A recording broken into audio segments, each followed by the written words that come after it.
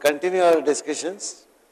First, I would like to do a quick review of last lecture, look at matrix multiplication problem, and we'll look at one problem which I call file indexing, where I'll just present a program to you and ask you to figure out what exactly is being done and how.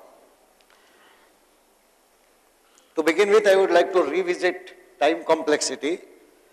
There was a syntax error in the notation that I used in the original slide, which I have corrected. If you recall, we had said that we compare algorithms on the basis of their behavior when the size of the problem increases to infinity. So as n tends to infinity, we said some programs can be compared, not some, all programs can be compared on the basis of order of magnitude of computations that the program would require. And if n is the size, we said a program is order n square, we write it as O n square. The difference is in this notation. By mistake, I had used a small o here. But you have to use a big O because technically small o and big O are different things. They are not the same. Mathematically, when you compare algorithms, there is a small o notation which means something different. What we shall be using is what is called the big O notation. For all practical purposes, what we mean is that we are talking about order of complexity. So order of complexity of the algorithm is big O n square. Another program may be order n. Some other program may be order log n. It is important to specify the base of the logarithm because ordinarily log would mean natural log. Typically in computer algorithms, you would have log n to the base 2 for obvious reasons. Clearly, an algorithm with order log n is much superior to an algorithm with order n, which in turn is much superior to algorithm n square. What would be a worse algorithm? Order n cube. Another order n raised to 4, order n raised to 5. This n square, n cube, n raised to 4, n raised to 5, you will recall, are all polynomial terms. So in general, n raised to k, where k is a very large integer, would be a very complex, very uh, time-consuming algorithm. But still that algorithm will be said to be bound as polynomial time algorithm. So polynomial time algorithm is algorithm which can complete its execution with some order of polynomial of the size, n, n square, n cube, n raised to 4, n raised to k, whatever. Can there be anything worse than that? What could be worse than n raised to k? What is worse than polynomial in terms of increasing the number of computations or increasing the number in some sense?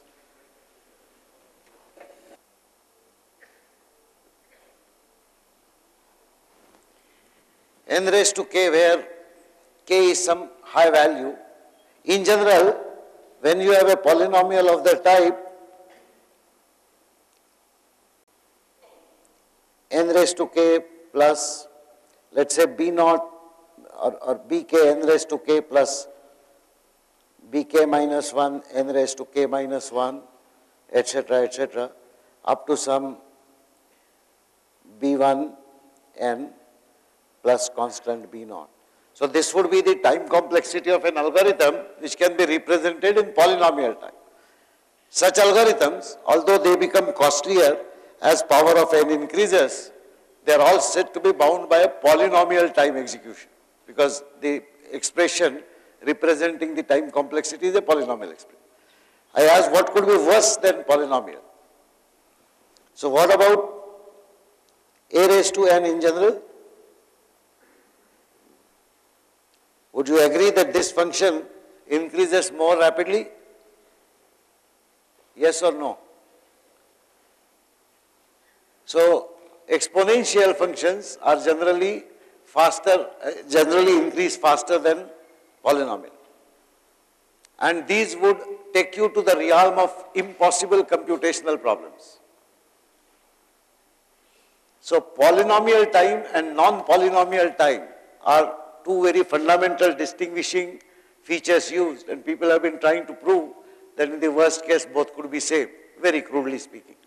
We'll not go into those details. What is important for us, however, is that every algorithm that we write, we generally understand the complexity. We are unlikely to write algorithms which will go beyond polynomial time complexity. If ever we come across one, we shall point that out. Those will be impossible to solve problems kind. However, within the polynomial time, as I said, order n is preferable to order n square. Order log n to the base 2 is preferable to order n. Order 1 upon something log n is still preferable, etc., etc. These things matter, as I said, when n tends to infinity. So for very large n, these things are material. Otherwise, do not forget what I said earlier, that if you have an order n square algorithm and another algorithm which is order n, ordinarily we will regard this as faster. But depending upon the actual expression of the time complexity, it may turn out that for a certain value of n, order n square algorithm is faster than order n. Beyond that value of n, order n will be faster. Now if that value of n happens to be good enough for solving most of the practical problems in life, then you would like to use that algorithm because that algorithm is faster. So whenever you are comparing algorithms, even though order of complexity may be different, it is still important to compare nitty-gritties and the detailed expression. In any case, within two algorithms having the same order of complexity, try to reduce the coefficients of the expression. Why I emphasize this? Generally when you write large programs, and that is what you will all be doing in your projects, you tend to forget about the efficiency of your program till the entire system is developed and when you try to run your programs later, you find that the programs are not executing fast enough to meet the real life demands. In general then it's a good idea to keep the efficiency of program in mind while designing the program itself, not subsequent. It's extremely difficult to tinker with a program and algorithm which you already written, especially if the program is large or complex. I'll very quickly repeat the redirection. We had seen that ordinarily you read input from cin, but if you use the input redirection, then the program is capable of reading from an input file. As somebody was asking me yesterday, why do I say .txt? The file name is not important. The file name could be x.y. It's your choice entirely. What is important is what that file contains. The file must contain data which is amenable for reading by cin because redirection is a replacement for cin and nothing else. So for example, yesterday somebody was asking whether I could input an image. We have not even discussed how do we represent an image, but we take it for granted that the image representation will not be a text representation. In which case, it is futile to try and give a file which contains an image because cin will try to make sense of the data only in the context of cin statements that you have given in your program. It cannot understand anything different. Therefore, while the name of the file is not important, the contents must be text contents as if you are typing them on the keyboard, nothing else. And that is what is read by cin statement. Typically, I would give it an extension .txt or earlier people used to call it .dat which now has a different connotation in some operating system, but the contents is what is important. Similarly, you can redirect output. Again, it does not matter what name you give, but what will be contained in this file after the completion of execution of your algorithm or your program is exactly what you would have seen on the screen, nothing else. Because what you produce using cout is what is being put into this file by the operating system, nothing else. So keep that in mind. Names do not matter, but they have to be text files amenable for handling by cin and cout statements. We also discussed the need for debugging and this is something I would like every student to experience and experiment during the lab sessions. Particularly as your programs become larger and larger. In fact, even for small programs, it is not uncommon to make a silly mistake somewhere and you can't figure it out unless you put some intermediate print statement. So this is the facility where you are able to put code like this. Hash if something something, some block of statements. Typically these will be output statements, although they need not be output statements. For example, you can even do some intermediate computation and print the result of that intermediate computation as a part of debugging. It's entirely your choice. The point is whatever statements you write in this block, hash if xxxx up to hash endif, all of that will either be completely ignored by the compiler in normal course or all of it will be compiled and then those statements will be executed in the normal course. So typically I use the name not sure because it conveys the meaning that I am not sure of what is happening. However, there is no such sanctity of this name. You can use absolutely any name. You can use XXXX for example. Any string that you use without quotation marks. That is what you write here. Hash if blank, not sure. And then this is a sample cout statement. It could be any other statement or a group of statement ended by hash and. So as I said, ordinarily C++ compiler will ignore the block but if you compile your program with minus D option, this is the way you write minus D option. C++ blank minus capital D, don't forget that, blank. And this is followed by the string which you have used in the hash if statement. And then of course the program. So these statements are compiled and are executed as part of the program. What is important to remember is they are executed not as a separate entity, but they are executed exactly in the same order in which they physically appear in your program. So in fact, if you want to understand how the program will behave with minus D option, take your program, forget the hash if and hash end if statement as if it is not there.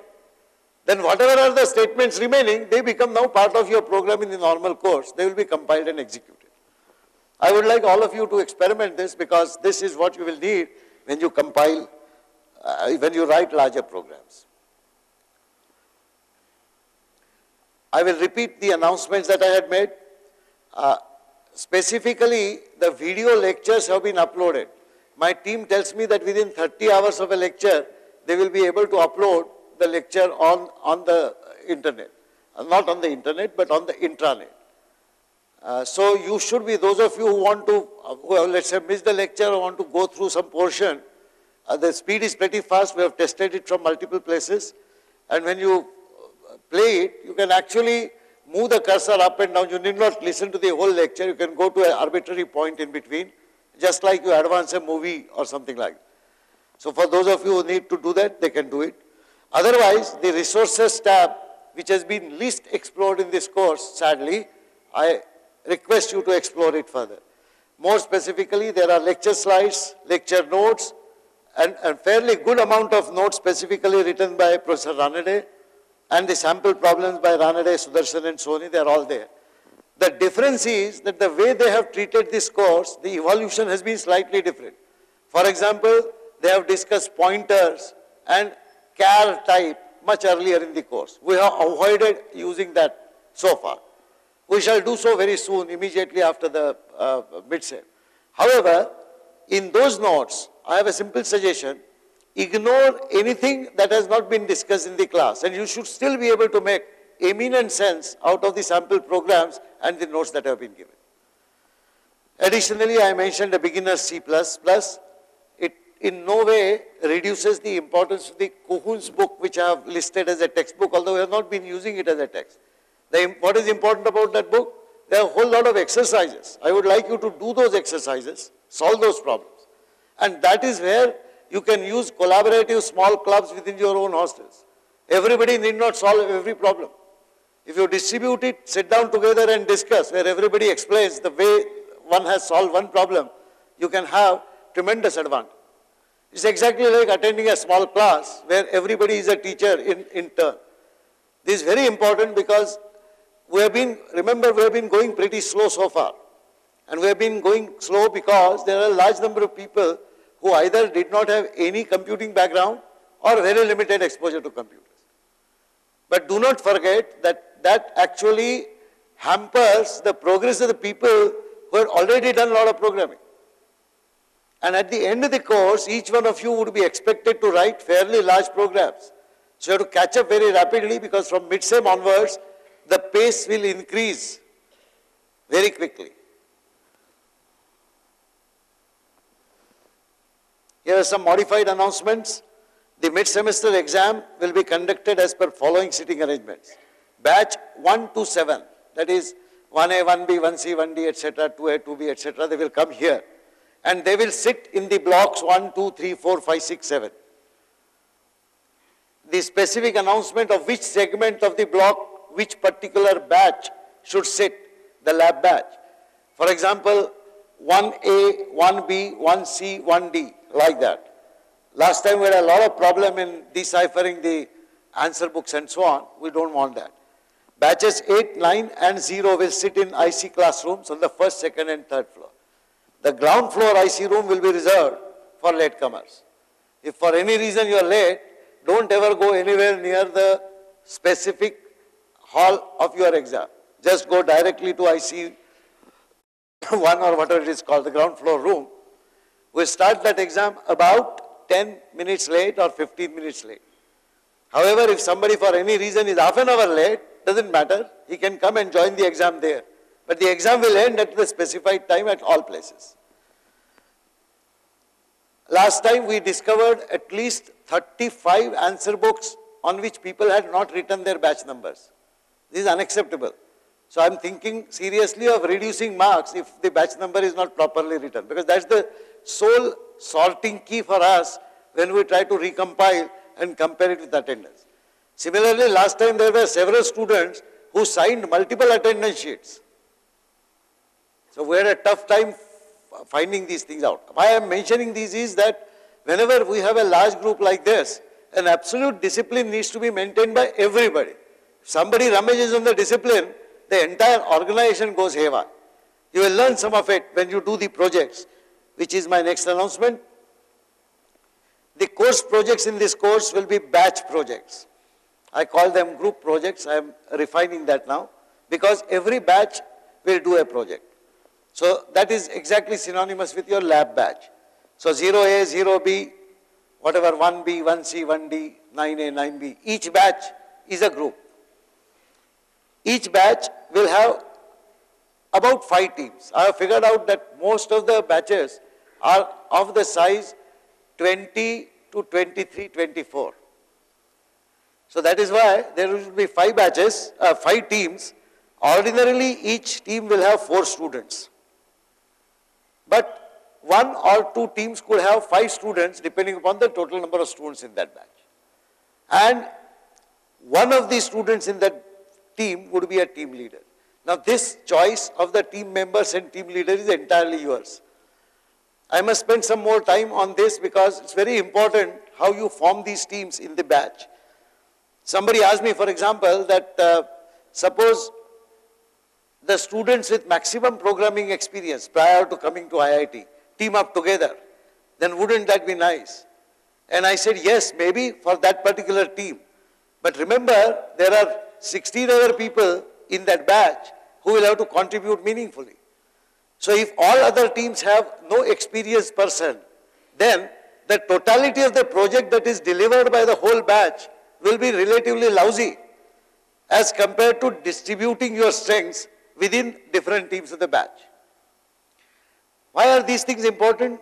These are important because what you are learning here, programming, many of you will deploy this programming for developing large programming systems in your own fields. Some of you will actually join IT services, but some others will be building large computational libraries or large design libraries or whatever, whatever. Such large systems are never ever written by one individual or by four individuals or by ten individuals.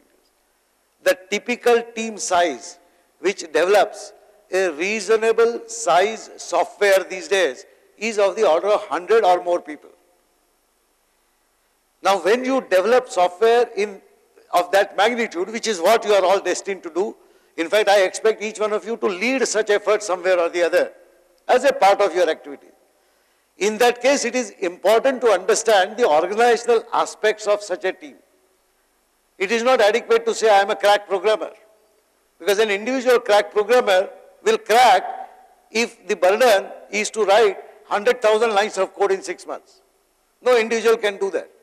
200 people can possibly do that, provided they are organized well. I would like you to learn the organizational skills, the leadership skills, and the communication skills which are required in the modern programming teams to develop something substantial and to be proud of whatever you have developed. So that's the reason why I'm introducing these batch projects. I have done this experiment successfully at some other level in the information system course and some very excellent projects have been developed. Just to give you an example, uh, when I taught this, not this course, another course on data processing in uh, 1984 or 85, I think, I took a single problem for the whole batch. And that problem was the salary system for the institute, for IIT Bombay. We had a very small uh, microcontroller kind of machine then, which was getting out of commissioning within three months. And the institute wanted a new payroll system. We had a 8-bit microcomputer which ran an operating system called CP/M. There were no desks, there were two floppy drives, and it had a compiler for a programming language called COBOL. So I used COBOL programming language to teach data processing. And the whole batch, the course project was develop IIT Bombay salary system. There were, I think, about 20 odd students in the computer science batch then. As a part of one course, they developed that system, which for next five years actually paid the salaries of all IIT employees. So they could construct something which was extremely meaningful. In fact, they did not have much time to test the programs. They tested it to whatever extent they could. And I still remember when the March salary, which is paid in April, was produced using new programs, there were two errors.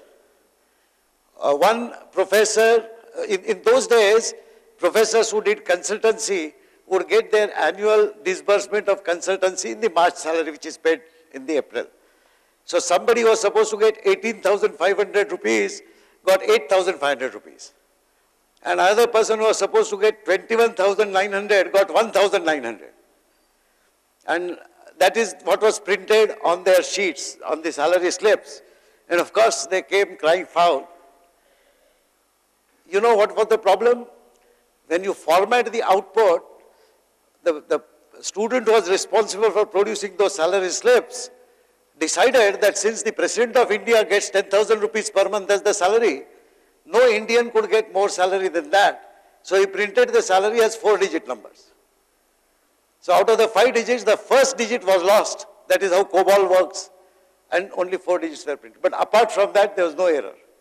In fact, the professionals in Mumbai from L&T and TCS complimented IIT Bombay because no salary system has ever been put to live usage without two, two months of parallel testing.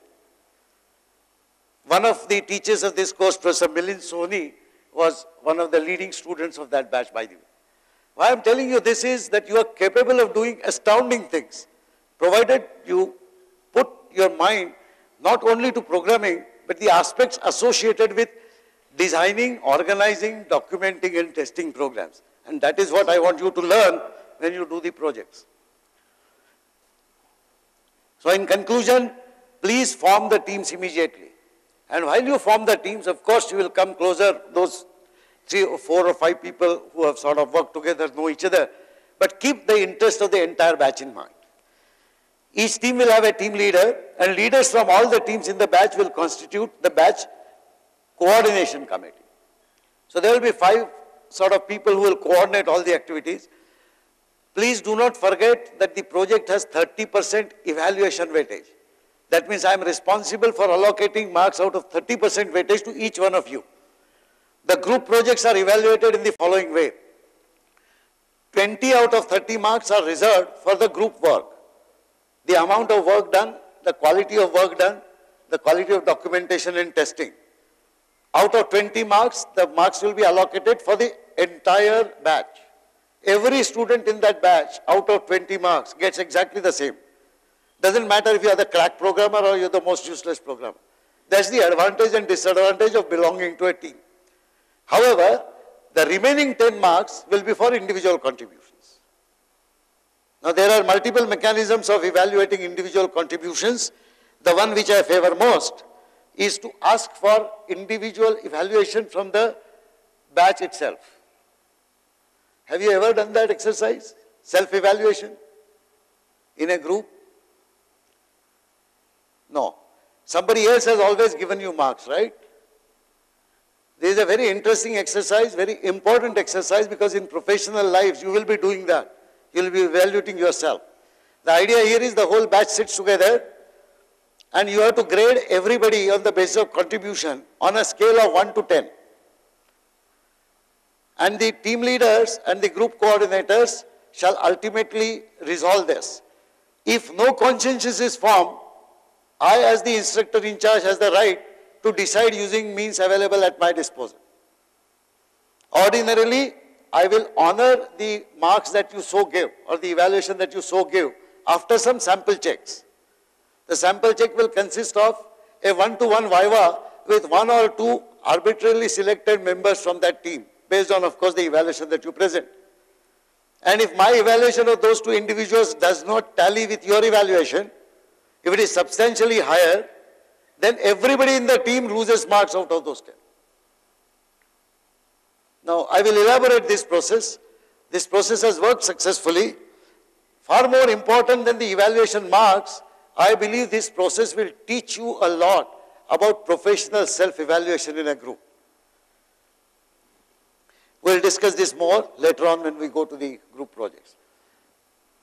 The last but not the least, many of you have already done a lot of programming, not only in their 12, 10th and 11th, 12th standard. I met someone from Bihar who has been programming from 6th standard. I think he knows about six programming languages. Now, such people are perhaps better placed than most others to suggest problems for the batch project. Even others who haven't handled programming per se of large magnitude can imagine problems which perhaps can be tackled by a batch or a sort of bunch of 20, 25 people. So what I would like you to do between now and Thursday is to submit some kind of your proposals, problem proposals. And submit these proposals on your Moodle. TAs will be instructed to collect these. During the next week of mid-semester, we will work at the back end to define the problems for the batches, which of course we'll allocate later but do suggest problems. Uh, one more announcement in this regard. The next lecture, Thursday lecture, I will not teach anything new, but I will devote that entire class to solving problems. Any problem that you have faced in any program, but I need a feedback from you as to which problems you would like to discuss. So please send a mail to me specifically. This is not, you can additionally post it on the Moodle, but I must receive a mail independently and that mail message must have the following title. This is important. I get about 300 emails per day. I try to read all CS 101 related emails, although I am not able to respond to everyone. But it is hell unless the subject line contains something very specific. This should be the exact title, CS 101 underscore problem, all small letters, sorry. CS 101 blank problem. You can understand if I have about 16,000 mails in my mailbox, then searching on the subject, if it is exactly written, I'll be able to get all the mails immediately. It's just to help me sort it out faster. Below this, you can state your problem in the mail itself. Whatever is the problem? You can make a reference to a particular slide number of a lecture saying that this problem is not clear. Or you can state a problem saying I could not do it. You can give piece of code which you have written and which you can say, I don't understand what is the problem in this piece of code. Absolutely any problem that you have in the course. Because I'm using this mechanism to collect all the problem areas that you have. What I will try and do is on this Thursday, and, and then at the bottom, you must write your roll number, name, and batch. Do not forget to identify yourself completely.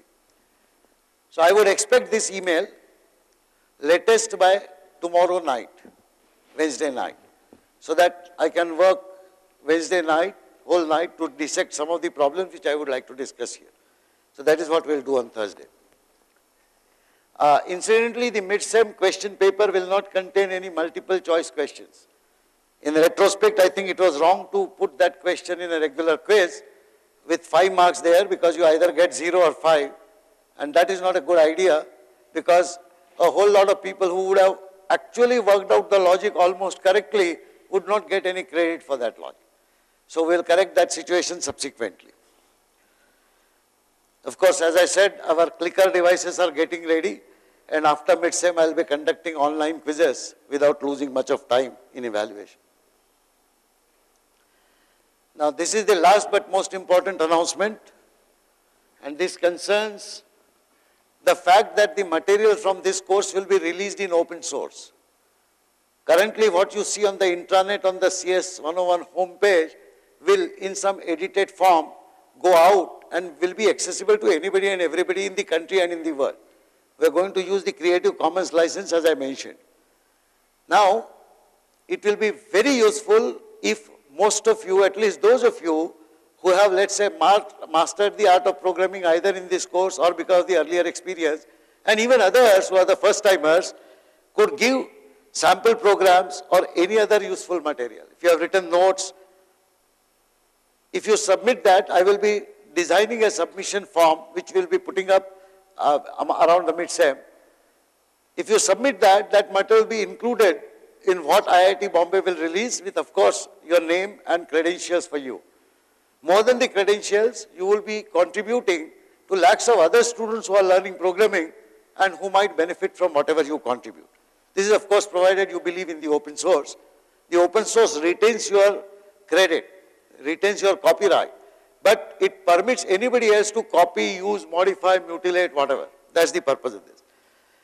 Additionally, transcription of the audio lectures, the audio video lectures are put there. The transcription in English, we are trying to get it done through some staff. But I noticed that there are several students here who, at least in the first few weeks, had tremendous problem understanding English. You will agree that there will be lakhs of such students all across the country.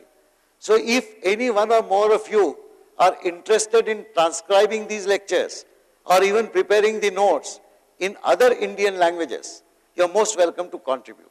I would expect at least an email positive intent, in which case I could organize some additional support for such people.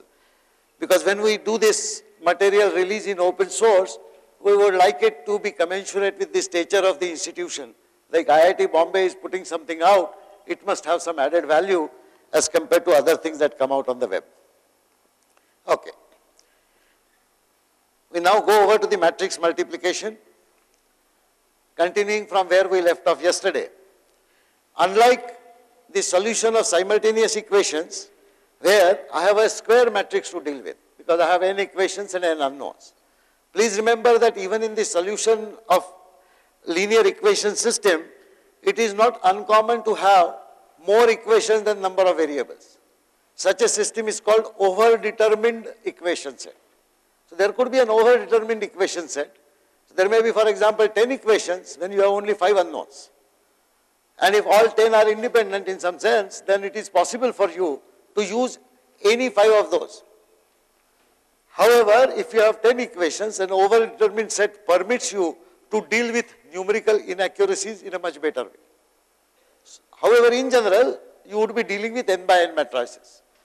Now, if you have two matrices, one is R by M and the other is M by C, which results in a matrix R, R by C. How would you do the matrix multiplication? Well, each element Rij of the product matrix is a dot product of ith row and jth column. Yesterday we had discussed the dot product. It is a simple code which implements the dot product. So for i equal to 0 to r and j equal to 0 to c, so r and c are the two dimensions of the resultant matrix. I am calculating the sum which I am accumulating in rij itself by multiplying aik by bkj, varying k from 0 to m. That's the standard matrix multiplication formula.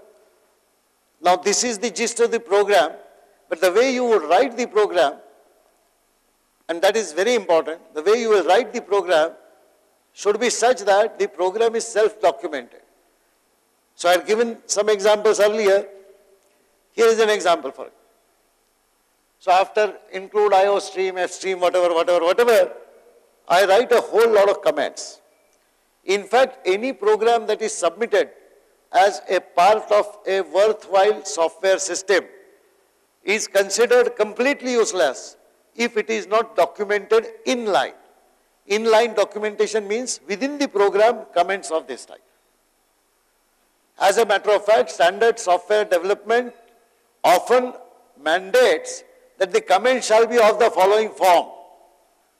Although we don't have any such mandate, but our programming standards or coding standards shall stipulate some minimal documentation.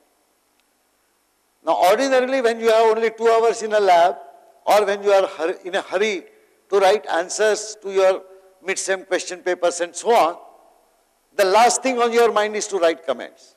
You would like to get your program right. It is not a good practice to do that when you are developing software. In fact, the standard software development practice says, first you shall write comments in the entire program. And then you shall write code which is commensurate with those comments. That is considered the professional way of developing an algorithm. There is much more to it in terms of analysis and design which precedes any line of coding. For example, for large systems, which let's say are developed by 150 people, you have 150 programmers, you would expect that the problem is mentioned to them and each one of them starts writing programs. That is absolutely sheer nonsense. If it is a 10 month project, let's say, for developing that large program, for first two months, not a single line of code is written by anyone.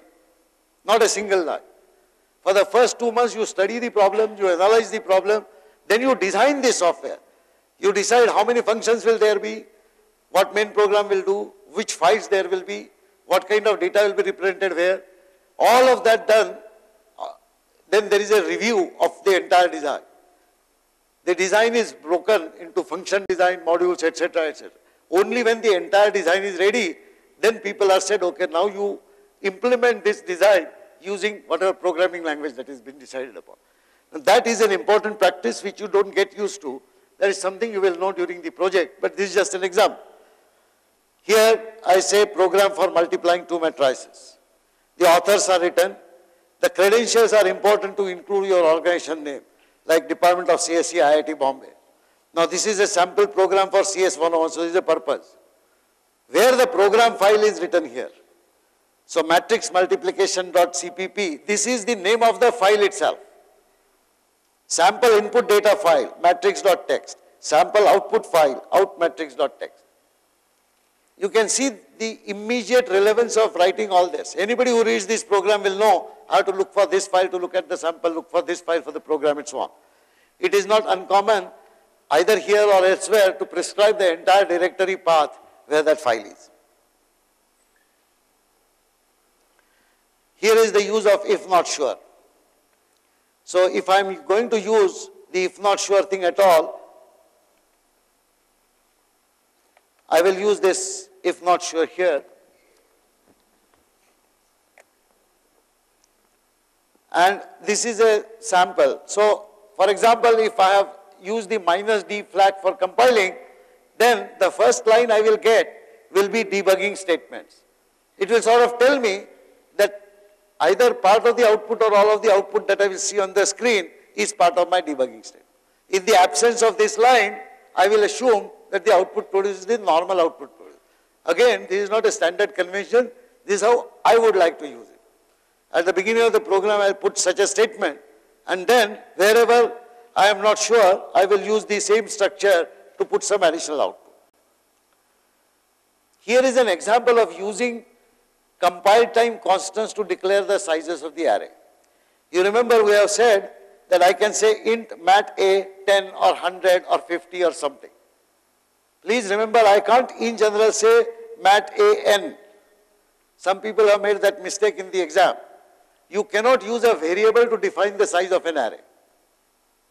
Because the size of the array must be known to C++ compiler to allocate so many locations.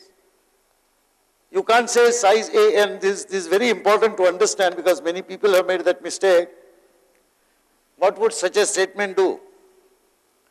You might think that since I am reading the value of n, that value can be used to define the size of the array. But remember the time difference. The allocation of elements to this array has to be done by the compiler much before the execution starts. The value of n will be supplied by you only when the execution starts. So you can't say that use that to size the array. Size has to be fixed at what is known as the compile time. That is, whenever the compiler Dumbo C++ compiler looks at your program, whatever it looks at, it should be able to infer the size. Now going back to this particular example, I have used here a variable, size Ri, size m. Are these variables? Yes and no. Before this is declared, I am giving a value which is a constant value, not a variable value. This is 4, this is 4, this is 2. When compiler reads this statement, it has actually the knowledge that this variable has a value 4, this variable has a value 4, this variable has a value 2. So these are constant values as far as compiler is concerned. And it will use these values here. As a matter of fact, there is a C++ syntax which permits you to define integer constant with variable names. What is the advantage of doing such things here? Why, why do I say 444? Later on we shall see that such definitions are useful because by recompiling it without changing the program code, I can change the array sizes. Remember, I will not use it only for array sizes. All my loops might run from 0 to size ri minus 1, 0 to size m minus 1, etc. So they, they automatically serve the purpose of n, which is ordinarily variable. This is just one way of doing things, not necessarily the best way. This is just to illustrate that variables are ordinarily not permitted to declare the sizes of the array. However, when the variables have been given constant values in the same program so that compiler understands how many locations to reserve, then and only then such a thing is permitted. Here is a program part which reads from the in matrix file. The in matrix file is matrix.txt. There is a test if in mat file dot is open. We have not understood because we have not studied the file declaration, file handling at all. We shall do that later. But this is just to give an exposure that instead of using cin, you can actually invoke a file. Please remember that cin requires you to give data from one stream. Typically it is keyboard and if you use redirection it could be one file. However, in larger programs, in larger programming systems, it might be required to read data from six different sources simultaneously for that program to execute. Take for example your academic grade processing system. There is a file which maintains data about whether you have paid the fees or not. That is with the accounts office. There is a file which says whether you have registered for the courses or not. There is another file in the hostel which says you are an inmate of this hostel, you have paid the mess bill or not, whatever, whatever. Now these all will not never ever be kept at a single location in a single file. So obviously if you are writing a program which does something comprehensive on all this information, in that program you will be required to read data from multiple sources. These multiple sources are different files. And consequently it is important for you to understand how I can open a file, read data from it, close a file, or write data onto a file. Because I might be wanting to write data similarly, not only on cout, but on 20 different files. So that is the reason why these files are important. Currently you take it only as a exposure value. So I am reading this file and I print matrix A from 0 to size i and from 0 to size m because the first matrix is ri by m. In exactly the similar way, I read matrix B, which is from size M to size Rj. So I am using Ri for fixing the number of rows of the first matrix. I am fixing Rj to mention the number of columns in the second matrix. That is what is important. I close these files. If I can't open this file, this else corresponds to, let me go to the previous slide. If in InMat file is open, then I do all this. That means I have found a file and I have been able to open it. However, suppose you run this program from a directory which does not contain that file. Then the operating system, when it attempts to open a file because C++ wants that file, operating system says, sorry, I can't find the file. If that happens, then this if statement will turn out to be false and you will come out here. And when you come to else, you'll say cout endl unable to open file. This else statement closes here. What else should be written here? Any suggestion? Is this adequate?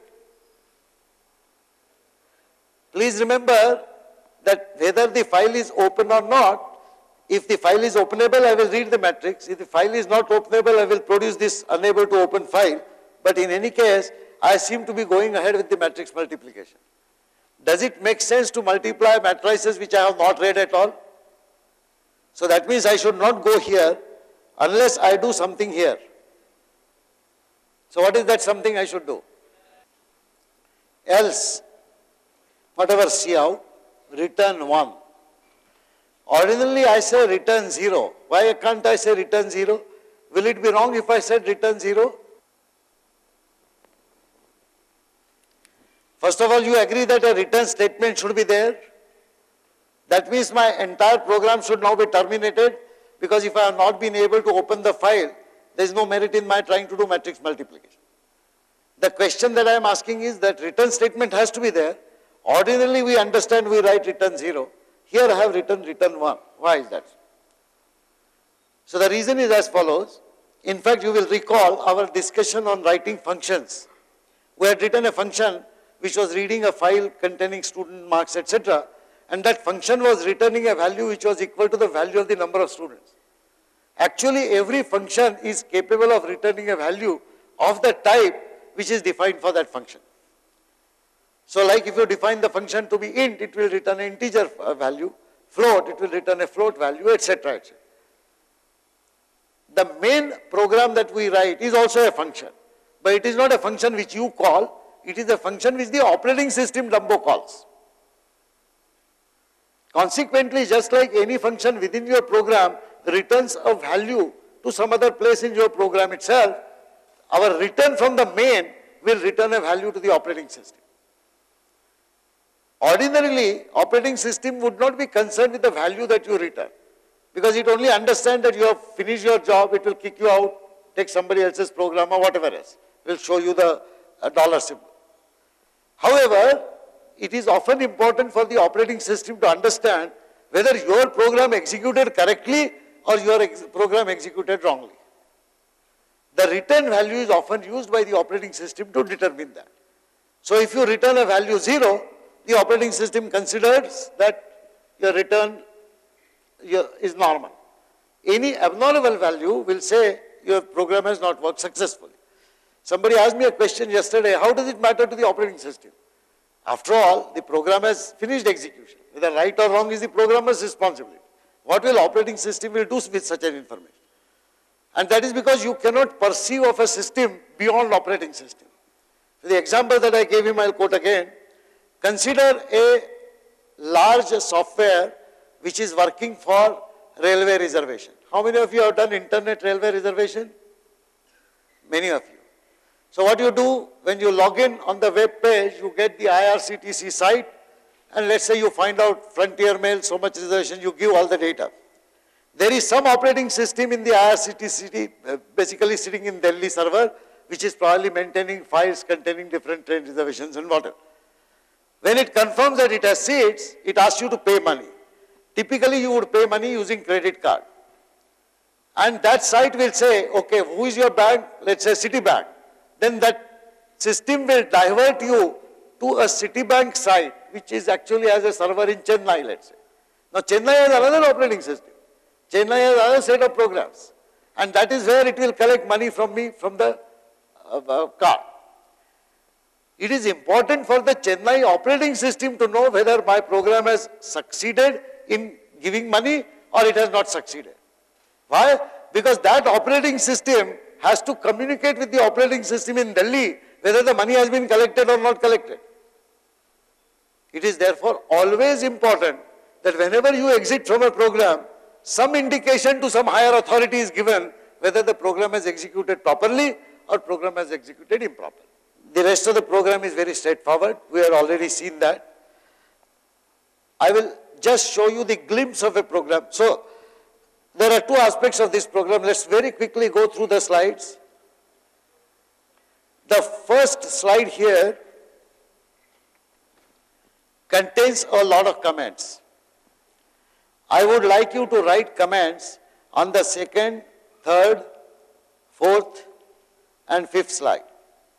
There are some comments here which says matrix multiplication, some comment which says read input matrix, some comments which say read output matrix. Ordinarily, when so much of explanation and discussion has accompanied such a program, this much is sufficient.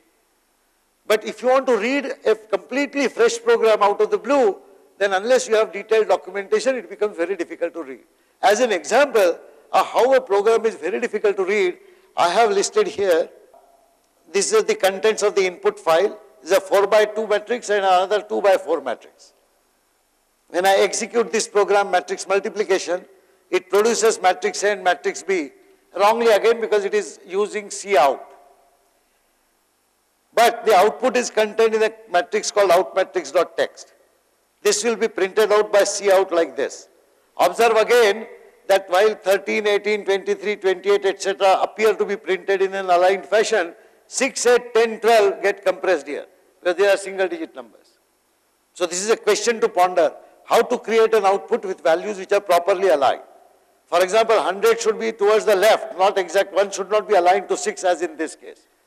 This is just to keep you thinking, we shall discuss the formatting after the mid-sem. It's not relevant to the mid-sem. Now here is an example, I will just quickly glance through these slides, there is no time to look at it, I don't want to explain it. I want you to read this program to figure out what it is doing. The title says file indexing. Look at this. Can you make sense out of this?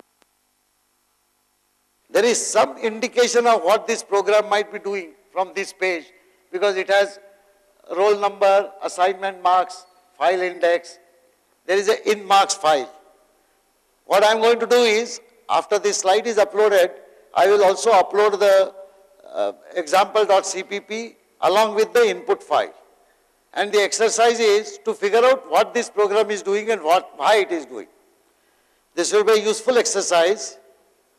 This is the complete program. And I will also put that uh, input file, which is actually input file containing roll numbers, quiz marks, assignment marks, exam marks, etc., etc. You have to figure out what this program is doing. You take that as a homework for Thursday lecture. Thank you very much.